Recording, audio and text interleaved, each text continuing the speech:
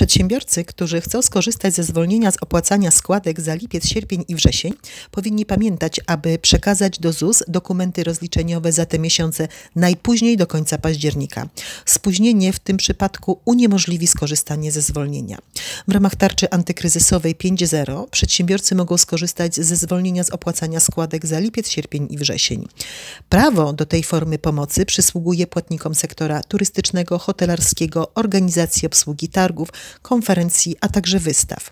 Aby skorzystać ze zwolnienia z opłacania składek, należy pamiętać o przekazaniu do ZUS dokumentów rozliczeniowych za miesiące wskazane we wniosku najpóźniej do 31 października, chyba że ktoś jest zwolniony z ich składania. Spóźnienie w tym przypadku będzie oznaczało brak możliwości skorzystania ze zwolnienia. Jasno to precyzują przepisy. Warunkiem otrzymania zwolnienia jest między innymi prowadzenie działalności przed 30 czerwca 2020 roku, spadek przychodów z działalności o co najmniej 75% w porównaniu do sytuacji sprzed roku, porównujemy pierwszy miesiąc z wniosku o zwolnienie z analogicznym miesiącem z 2019 roku. Zwolnienie będzie przysługiwało niezależnie od tego, czy zostały opłacone składki za miesiące wskazane we wniosku. O umorzenie składek można wnioskować do końca listopada. Można to zrobić wyłącznie drogą elektroniczną za pośrednictwem platformy usług elektronicznych ZUS. Przedsiębiorcy z branży turystycznej, estradowej i wystawienniczej mogą nie tylko wnioskować o zwolnienie z opłacania składek, mogą również wystąpić do ZUS z wnioskiem o świadczenie postojowe czy dodatkowe świadczenie postojowe.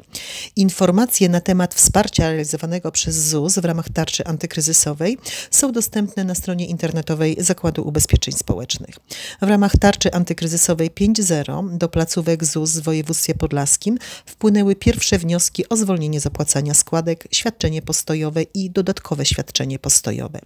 O umorzenie składki za lipiec wnioskowało 93 przedsiębiorców z naszego regionu, za sierpień 98 i za wrzesień 100.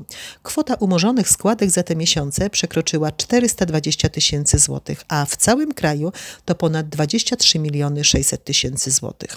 Z kolei wnioski o świadczenie postojowe złożyło 12 przedsiębiorców z naszego województwa, a o dodatkowe świadczenie postojowe postojowe 52. Kwota już wypłaconych świadczeń postojowych na podstawie tarczy 5.0 w Podlaskiem wyniosła ponad 76 tysięcy złotych, a w całym kraju 3 miliony 300 tysięcy złotych.